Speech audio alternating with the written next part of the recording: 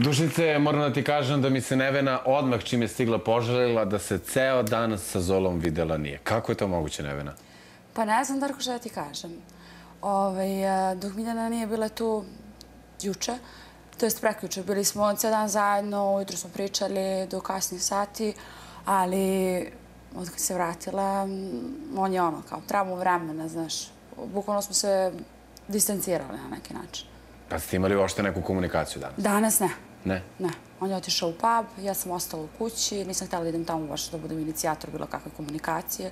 Pa znaš kako, to treba onako perfidno na foru da uradi. Znaš, odeš tamo nešto da uzmeš, pa vidiš neku, pa sretneš nekog, e, kao, pa ti si tu. Znaš kako, jutro se, kada smo imali izbor za najiritant, naj... Zlonamerniju osobu. Je li bilo zlonamernije? Mhm. Nisam sigurna.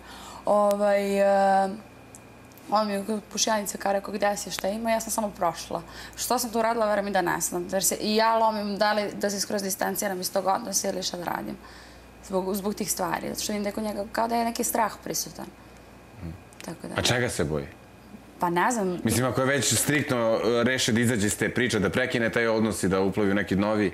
Znaš kako, on je meni rekao kao ne bih volao da ja imam, na primjer, sa nekog drugog ili da bilo kakvu komunikaciju sa nekim muškarcima na taj način, ali da njemu treba vremena zbog njenih reakcija, jer kada su bilo pitanja novinara, ona je mm imala tu reakciju kako je imala u kupatilu i od tada se kod njega nešto, da kažem, promenilo. Ne znam, ne znam kako bi definisala to. Da li kako, to neki... kako se ti nosiš sa tim? Da li misliš da samo traži neko opravdanje, da možda nije iskren, ili da je iskreno da je dačku neprijatno i da ga sad to negde i pogađa i da mu nije prijatno da to gleda, s druge strane želi prema tebi fair, da ispadne kako ti Ja mislim da je iskren. Zato što mhm. smo žurke do, kažem ti, do, do danas Eh, svaki dan pričali, sedeli. Ja kažem, meni je toliko bilo prelepo tih dana, nisam se više smela za ove tri mjeseca nego u posljednjih tri dana. Jeste, to se vidi. Da. Ali danas mi je baš onako neka minus faza, nema pojma. Ajde, reci mi sad, evo, eh, na samom kraju, šta ćeš uraditi? Ili ćeš uraditi nešto? Mislim, eh, ti si onako vatrena borbena devojka, ne deluješ mi kao tip koji će da sedi skrštenih ruku i pustiti da se situacija tako odvije da se tebi to ne sviđa. Kakva će ti akcija biti?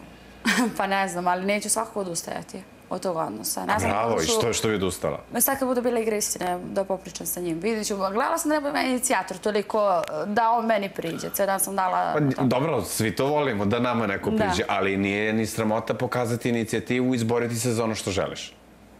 Pa slažem se, ali svakako neću odustajati od tog odnosa. Bravo, ne. Sviđa mi se taj, taj stav i um, ta, ta motivacija koju, koju zapravo ti imaš. To znači da, da je Zolander na 100%, a da si na 100% i ti. Dobro, čuli smo, čuli smo Nevenu. Dušice, idemo kod tebe. Intervju, tri minute.